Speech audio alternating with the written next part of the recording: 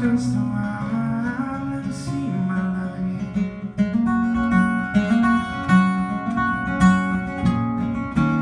For a while, just a while, let me feel at home.